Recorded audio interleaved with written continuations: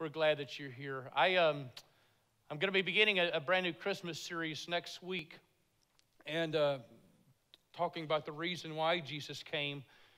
This morning, I, I want you to take your Bibles. We're going to open up Luke chapter 2, and, and you're going to read, hear me reading a lot and speaking a lot from these different Christmas passages over the next few weeks because really, this is kind of the only time of the year typically we do. Usually, you don't hear somebody preaching from these passages in, in May or July or August. This is usually all around this season, so just prepare yourself to, to hear these passages again and again. But I believe that every, every week during this season, I think God can speak to us directly about some very important things. But I, I'm speaking this morning on a message I've simply entitled Making Room because today is about preparing ourselves.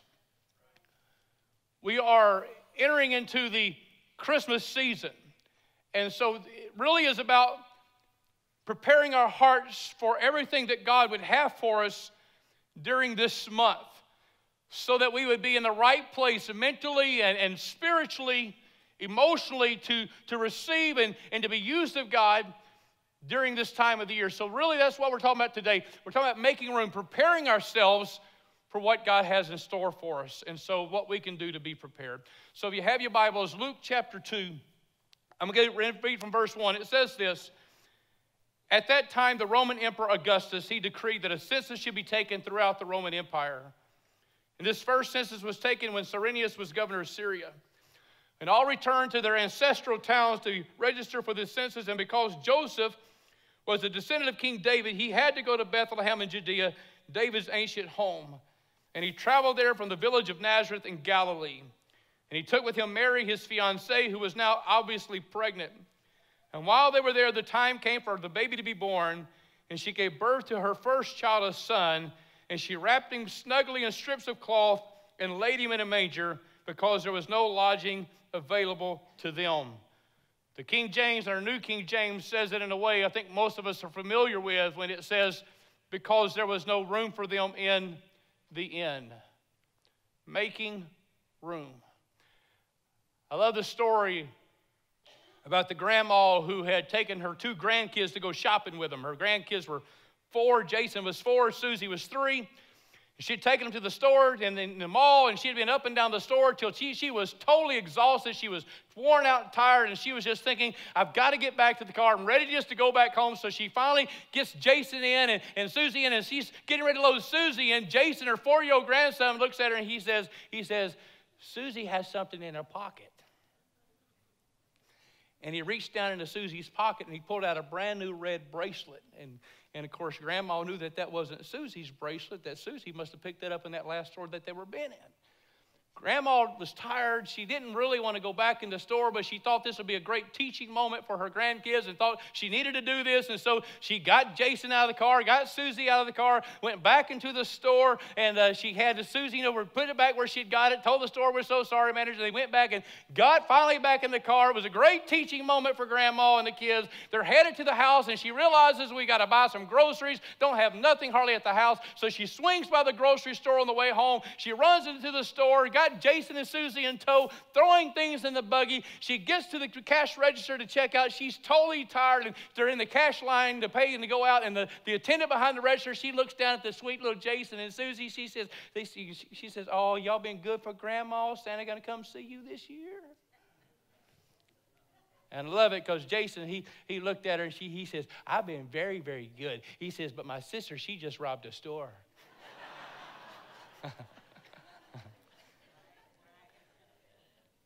You know, Christmas season really is officially upon. This is December 1. Thanksgiving's already passed, and Pastor Steve mentioned Black Friday uh, just a few minutes ago, and I don't know how many, I would lift your hand and say you got out on Black Friday and went shopping, but I'm sure some of you probably did. I know my, my wife and kids did. Crazy. I mean, people are, it's crazy out there on Black Friday. I drove. Finding a parking spot was like a gift from God on Black Friday. I mean, it's crazy out there. And we weren't even in town. We were up in Missouri, and it was cold and it was wet, and it was still, I, I was thinking I was going to be out there. There's not going to be anybody out there because it's cold and wet. And it was madness out there. And so when I backed in, my wife and kids are out there because everybody's looking for the perfect gift at the perfect price. And uh, I, I didn't get out. I stayed in the car. I stayed in the where it was safe and warm and dry with my grandson Jude. We stayed in the car, let them go out. And I say that very real, warm and, and dry because it was cold and rainy, but safe because people are crazy. It's amazing what people will do at Christmas time. I mean, I saw somewhere there was an online video where these two women, I think it was in Pennsylvania somewhere, they were going fisticuffs at 2:30 in the morning. Somewhere they have forgotten that this is supposed to be the most wonderful time of the year. This is supposed to be about peace on earth and goodwill towards men because this is the season that Jesus came, and yet here they are fisticuffing, slapping each other, pulling hair, and I'm thinking, is that what Christmas is all about? But that's what it is for a lot of people. I mean, crazy things. People going here and there. I, for me, staying in car is always the safest bet. Listen, when this time of year comes around, I'm always amazed at how people act. I'm always amazed at how people react, what people will do and say, all in the banner of Christmas. What even amazes us even more is how busy we become. I mean, some, there's something about this time of the year that we would get so busy I mean, it's like we're going 100 miles an hour. We're going to, to Christmas parties and we're going to programs and we're going to this activity and this family gathering. And listen, there's nothing wrong with any of those things. I love all of them. The point I would simply make is that we're so involved celebrating the holiday of Christmas that we forget about what Christmas really is the meaning of Christmas. So we have the, the holiday of the season and we're so busy celebrating it that we forget the real reason behind the reason we're celebrating. Listen, as excited as some of you may or may not be, it's important that we remember that this year's celebration of Christmas is not celebrating a fat man in a red velvet suit. This is about celebrating the fact that God sent his only begotten Son, wrapped in swaddling clothes and laying in a manger. I heard the story that comes out of the country of Wales back in the 80s, 1980s, about a man who for 42 years tried to win the affection of a certain lady. 42 years he asked her to marry him. And finally, in the 43rd year, she said yes. They were 74 years old, but she finally said yes. But think about this for 42 years, he would write a love letter every week and slip it under his neighbor's door, expressing his love and his desire to marry her. And for 42 years, she never once responded to a single letter he wrote. Finally, after 2,200 love letters in the 43rd year, he finally mustered enough courage to go in person. So he goes over, knocks on the door. She opens the door, and he finally expresses face to face his love for her. And he says, Will you marry me? And she said, Yes.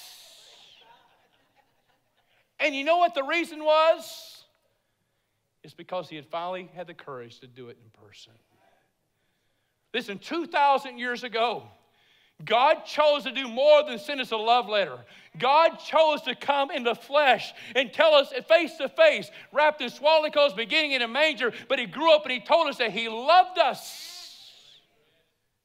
And that changes absolutely everything. Listen, we're talking about the Christmas season. We're talking about preparing our hearts for what's to come. And the Bible says in Luke chapter 2 that Joseph and Mary, they go to Bethlehem because that's the ancestral town to be registered together for the census. And while they're there, the Bible says that Mary was going to give birth and she's going to be delivered. But they went to the inn and the innkeeper said, There's no room here. So she gave birth to that child in a stable, wrapped him in swaddling clothes, laid him in a manger because there was no lodging available or there was no room in the inn. Listen, there are no words like those two words, no room, that have stirred and convicted and challenged all of our hearts year after year after year for thousands of years. Because why? Because it's indicative of our character. It's indicative of human nature where we say to God, I don't really have room for you. I really don't have room. See, the question that we're asking ourselves as we're moving into this season once again is this Is there enough room as we celebrate that He has a place there? Is there room for Him in here? I want to give us three things real quickly that we need to be careful of this Christmas season as we're preparing to celebrate Jesus. The first thing is this we need to be careful that we don't allow the busyness, the busyness of the season to crowd him out. Because guess what? We can get really busy, can't we? I love the, the book uh, by Max Lucado, Applause from Heaven. Lucado is a great writer, a great author. And he tells in this book, he tells a story about a, uh, an Indian legend uh, from, from the country of India about the Shah there who was deciding one day he was going to build a massive cathedral, a memorial to his deceased second wife. He began the project in 1631. It took him 22 years to build it, 20,000 workers working on it. Still 22 years to build this memorial for his wife that he loved. He thought to himself, this would be a way to show the world how much I loved her. So he got a big parcel of land. He took her remains, which was in a wood box, and he put it in the middle of the, the middle of the, project, of the project, and he began to build this massive memorial around her, the Taj Mahal. But as the weeks rode into months, rode into years, he became so engrossed in the building of the project that he forgot why he was building it. And the legend goes like this that one day, years later, because it takes 22 years to build it. One day, years later, he was walking from one side of the project to the other side of the project in the evening, and he hit his leg on a box. He looked down, and it irritated him and it aggravated him. So he dusted the dust off of his leg, and he told his workers, Take the box and throw it out, forgetting that that box was where his wife's remains were at. And Lucado says this at the end of that story. He says this Thus, the one for whom the temple was being built had been cast out. The one who had inspired the whole project was forgotten. The one the temple was intended to honor had been harshly pushed aside, absent mindedly thrown away, and blatantly ignored. I read that and I realize that sometimes that's us. That we can become so involved in the task and the details of Christmas that we forget the one that we're actually supposed to be honoring. We're so caught up in the hustle and the bustle of the projects, the intricacies of planning and preparation, the shopping and the wrapping, and the going here and the there that we forget the why and the who that the season is all about. We're so busy going and doing that we run ourselves to exhaustion to the point where we become irritable, we become aggravated and frustrated. And instead of enjoying the Christmas season, we're just ready next week for it to be over. And what's happened is that we've allowed the busyness of the season to crowd him out. We might as well put a sign on the doorpost of our heart that says to God, No room, no room here. Too busy here. There's no room for Jesus here. I'm too busy with what I'm doing. Why? Because our schedules are that way. We need to be careful that the business of the season doesn't keep us from making room for our hearts for Him, that it doesn't keep us from remembering who this season is really all about. Be careful of the busyness. Here's the second thing we need to be careful that the callousness of our hearts doesn't keep him out. It's easy to get callous at life, isn't it? Callous towards people. You know, you get calluses on your hands. If you work with your hands, slinging a hammer, doing something else with your hands, or you somebody lifts weights or, or you wear a certain size shoes that may be a little bit too small, but you keep wearing those shoes anyway, and you you develop those, those, those hard places, those, those calluses, or your guitar player, your fingers, because you're mad. What's happening is that you're inflicting pain. It's the pain, it's the sharp points that are being applied again and again and again. And what happens is that calluses develop. They develop in your palms, they develop on your fingers, they develop on your feet, they develop on your knees if you're always on your knees. Why? Because you're always inflicting some kind of pain or pressure upon it. And that's what happens in life. As we're pushing against people all the time, because even though the love of Jesus abides in us and Christ lives in us, because we're always coming in contact with people and people are rubbing this the wrong way here and they're rubbing us the wrong way there, we become callous towards others and we may not even realize it, but it's true, we become callous. Heard a lady about a lady by the name of Harriet. Her and her family had attended a Christmas Eve service at church. She said after church, her family was driving home and they were hungry, so they decided they wanted to stop and get a late night breakfast, but the only place that was open was this truck stop near the highway. She said it was a, a moment in her life where she truly experienced the real essence of Christmas. She said, We pulled in. She said there was some 18 wheelers out there rumbling in the parking lot. She went inside. There were some truckers sitting at the counter ordering their food. She said the place smelled like bacon grease and stale cigarettes. She said there was some twinkling lights, some ragtag lights kind of stuck to the window over there, and man with one arm behind the counter. She said it was a pitiful looking group waiting for a place. And finally, the waitress, a real thin waitress by the name of Rita, she came and she said, they, she said that she helped them find the little booth. And they got in. She gave them a weary smile, gave them their menus, and they, they sat down at the booth. And she began to bring them a cup of coffee. And, and, and all this time, there was a jukebox that was playing in the background, some kind of country music that said something, words to the effect like this uh, walk backwards going out so it looks like you're coming in. I don't know. Country music. Crazy words make you cry. I don't know some kind of crazy. And, and she said that she was sitting there looking at this room of people and the smells and everything. And she said she felt like a snob because she said she felt so out of place. In fact, she said that she was thinking to herself that one day she said, We'll look back on this situation, we're going to laugh we're going to say to ourselves, you remember that Christmas, that after the Christmas Eve service, that we ate breakfast at that truck stop, that awful music, those tacky lights, those pitiful people? She said that's what she was thinking when a little Volkswagen pulled up outside the window and she saw a guy get out with a pair of blue jeans on and a beard and walk around to the other side and open the door, and his wife got out with her little baby boy. Came inside the truck stop, and the little baby boy, he was upset. Rita got them to a little table and they sit down and they're just trying to get the baby to stop crying. And, and finally, Rita says, You want me to take him for you? Let me take him, hon. And she takes him. Y'all drink your coffee. Now she's got him. She's bouncing around. You could tell that she had done this. She's bouncing him around. I'm getting used to doing that again in my house, you know, bouncing around.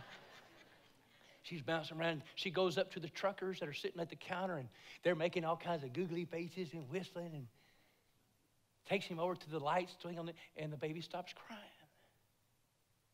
She's just kind of bouncing. She comes back over to their table and she says, You get a sweet little baby boy. He's good looking, and she says, Mine are all grown now.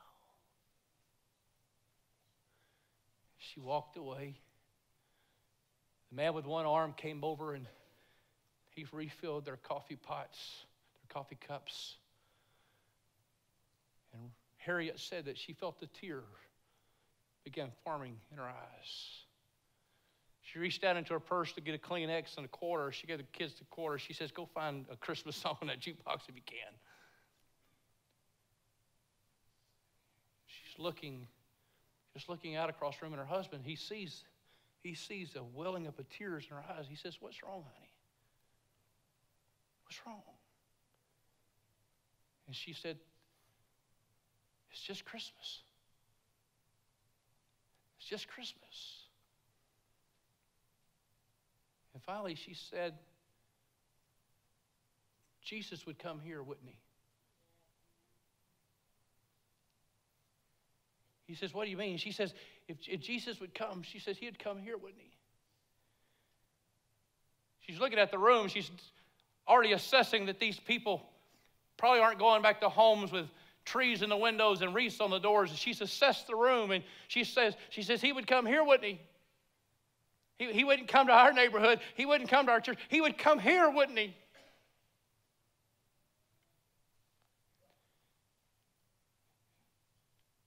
He said, You're probably right. She'd gone to that place and she had looked at the tacky lights and she looked at the people and she had already assessed them. She had already judged them.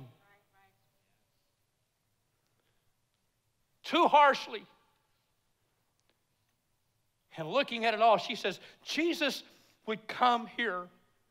If he was born tonight, he would be born here, not in our neighborhood, not at our church, but here.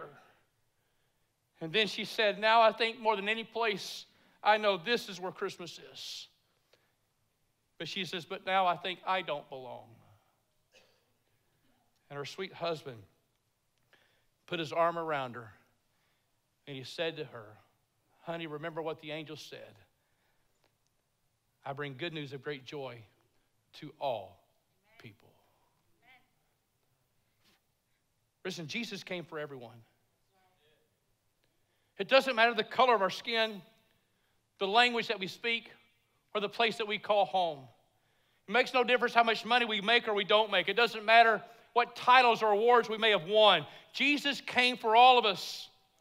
Listen, Christmas should make us look at the world differently, not through hearts and eyes that have been calloused by life, where we look at people coldly and harshly and judge them too quickly, but we should see them with the eyes of Jesus, who sent his son, wrapped in swaddling clothes, lying in a manger. Why? Because he loves every single person you come in contact with. Who first announced his coming to the lowliest of individuals, to shepherds keeping watch over their flocks by night, the ones that everyone despised. That's who he announced his birth to. First to shepherds. Listen, Christmas should remind us that Jesus came for everybody the homeless, the drunk, the drug addict, the prostitute, the destitute, the sick, the hurting. He came for that annoying man and that irritating woman in line in front of you. He came for that teenager chomping their gum and trying to text all the time they're trying to check you out. He came for that person who drives 35 at a 65. He came for all of us. Red, yellow, black, white, we are all precious in God's sight. So instead of being short with people, instead of becoming irritated and aggravated and frustrated because we think they're slow or they're inept, and, and because we got to remember who they are, they're, they're the people that Jesus came for. We cannot allow the, the busyness of life keep him out. We cannot allow the, the callousness of life shut him out. And lastly, we need to be careful that our own preoccupation with self doesn't shut him out. It's so easy to become preoccupied with self. One of my wife's favorite Christmas movies is The Bishop's Wife. Great movie, black and white. David Niven plays the Episcopal priest. Cary Grant plays the, the angel Dudley. But the story is about this priest who becomes so preoccupied with building a new cathedral that he begins to neglect the things that are important to him, begins to neglect his family. He begins to even forget why he had become a priest in the first place because he's so preoccupied, kind of like the emperor who building the Taj Mahal for his wife. He's so preoccupied with what he's doing that he's forgetting the reason why he's doing it. So finally, in desperation, he prays to God for help, and God sends him an angel by the name of Dudley who comes to help, but he doesn't help him the way that he wants him to help him. It's funny, it's got some great truths in it because it reminds us of what's true and what's important in our lives. But at the very end, the closing scene of the film, David Niven, who is the priest, is going to deliver the Christmas message. And he's written a message, but what he doesn't realize is that Dudley, the angel, has gone back and rewritten it himself. And he gets up, and I want to read the message that he delivered. You'll let me quote from a movie. It begins like this Tonight, I want to tell you the story of an empty stocking. Once upon a midnight clear, there was a child's cry. A blazing star hung over a stable, and wise men came with birthday gifts. We haven't forgotten that night down through the centuries. We celebrate it with stars on Christmas trees, with the sounds of bells, and with gifts, and especially with gifts. If you give me a book, I give you a tie. Aunt Martha has always wanted an orange squeezer, and Uncle Henry can do with a new pipe. We forget nobody, adult or child. All the stockings are filled, all that is except for one. And we've even forgotten to hang it up the stocking for the child born in a manger. It's his birthday we're celebrating. Don't ever let us forget that. Let us ask ourselves what we would wish for most. And then let us each put in his share loving kindness, warm hearts, and a stretched out hand of tolerance, all the shining gifts that make peace on earth. I think it's important that we remember that Christmas isn't about us. No, no, don't get me wrong, it's God's gift to us. But it's not about us in the sense that we totally forget who He is. Christmas is really about Jesus coming to us. And we got to be careful that we don't allow the, the busyness or the coldness or the callousness of life or the preoccupation with our own agendas keep us from taking the time to remember what this season is about and who it's about. It's about Jesus. It's about preparing our hearts to receive Him anew. It's about acknowledging His presence in, his, in our lives and in our world. It's to recognize that because of Jesus, our world is forever changed. It's because of Jesus. Listen, you read the story in Luke chapter 2 of Joseph and Mary coming to this inn and seeking a room and being turned away. It, that, that image is forever ingrained in our minds because we see this innkeeper as being this rough individual with no feeling and no heart sitting in the way. Why? Because he's too busy, he's too callous, and he's too preoccupied with himself to realize that there's a man standing out there with a woman who's about to give birth. So that image is there. And as soon as we read the story, that's what we see. This rough, mean innkeeper, so busy, so callous, so preoccupied that he misses the fact that before him is the Christ child about to be born. And yet, every single year, all of us can be guilty of doing the same things in our hearts if we're not careful. We can go, go so busy with the holiday that we forget Jesus. We can become so callous at people, then, and then we're in the stores and somebody gets in front of us and they cut us off and say something we don't like, and, and all of a sudden we have this thing that just flares up because we're calloused and cold at life. Right. And forget that Jesus came for them too. Right. And we're just so preoccupied with our agendas that we miss the most important door. Listen, the truth is that Jesus is forever at the door knocking. The innkeeper said, There's no room. But Jesus is still at the door knocking. He's no longer a baby, but now he's a full grown man, the resurrected king. But he's still at the door knocking because he says in, John in Revelations 3, verse 20, Look, he says, I stand at the door and knock. And if you will hear my voice and open the door, I will come in and we will share a meal together as friends. He's standing there, he's knocking. The problem is that the world is still saying, No room, no room, no room. Question I have for us today is will you make room? Will you make room for Jesus? Do you have room in your heart enough for Him to come in? Because I can tell you, if you allow Him to come in, He will transform you from the inside out. He makes us new again. He's still at the door, He's still knocking. The question is, what are we answering? Do you have enough room for Him? Will you make room I'm closing with this. I've shared this story lots of times because it is one of my favorites. It's about a guy, a little boy by the name of William Sterling. William was a seventh grader, big for his age, a little bit slow in learning, but sweet boy. Everybody liked him. And they were having a Christmas program at the church, and William wanted to be the, the shepherd, but they just looked at him and they thought, you know what, you know, your size, I think you would probably be a really good innkeeper. We're going to make you the innkeeper, William.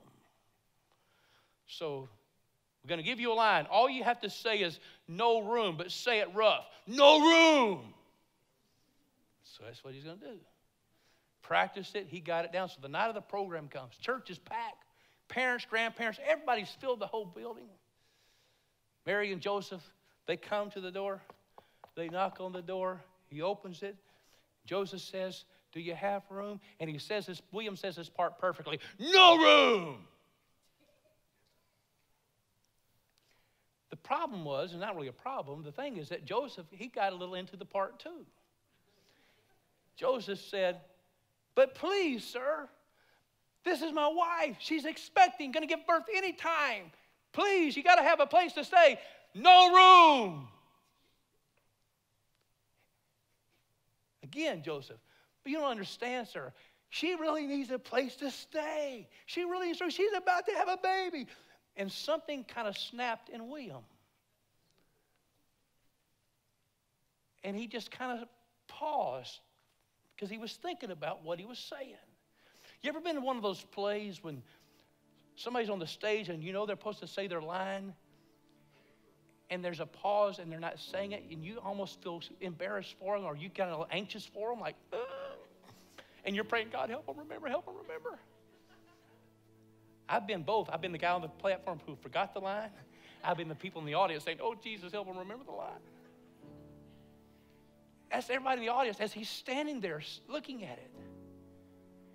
The prompter in the back is trying to tell him, Tell him, no, no, tell him to go, just to go. And finally, he looks at him. William says, No room. Be gone. But he didn't say it rough just real soft. And so Mary and Joseph turned around and they started to walk away. And just something snapped in William. William looked at him and says, No, stop, stop. Come back. You stay in my room. I'll sleep in the shed.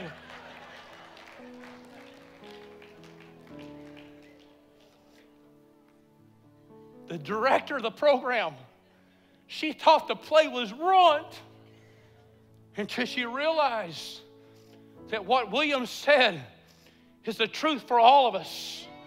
That we need to open up our hearts and let him stay in here. We'll sleep in the shed. Give him room in here. Friends, don't allow the busyness. Don't allow the callousness of life. Don't allow your preoccupation with your own agenda. Shut Jesus out. Make room for him. He'll come in and he'll change your world if you'll just open it up. Jesus, you can stay in here. I'll sleep in the shed. Just don't leave me. Don't pass me by. Stay in my heart. Aren't you glad? Listen, we're, we're just starting Christmas season. This is December 1. Stores are already packed. I've seen it. And there's going to be these people that are going to be rubbing against you, and it's going to frustrate you. You're going to be going here and there and everywhere. Some of you are going to be wishing that Christmas was over. But the reason you're feeling that way is because we've somehow distorted and misplaced where Jesus is. Don't throw him out. Honor him. Be careful of the busyness. Be careful of the callousness. Be careful of the preoccupation with self. Put Jesus in his rightful place. Make room for him. It'll make Christmas awesome this year. Would you do that? stand together. God, I love you. I love you, Jesus. I thank you, Lord. God, help us to keep you in the central place during this season, but not just this season, every day, all throughout the year. Help us to open up our hearts and to open up our lives. You stand at the door, you're knocking. And you said that you'll come in, you'll have sweet fellowship, relationship. It will just open the door and make room. Lord, I just pray for every family and every person, every individual. God, when we find ourselves so busy, God, when we find ourselves being so calloused, when we find ourselves being too preoccupied with our agenda, God, help us to be reminded of what's being said here. To step and take a step back and remember that Christmas is a celebration that you came. More than a love letter, you came in person. For God so loved the world that he gave his son, that whosoever believes in him, they will not perish, but have everlasting life. Because of you, Lord, our world has changed. And we're so thankful for you. I love you.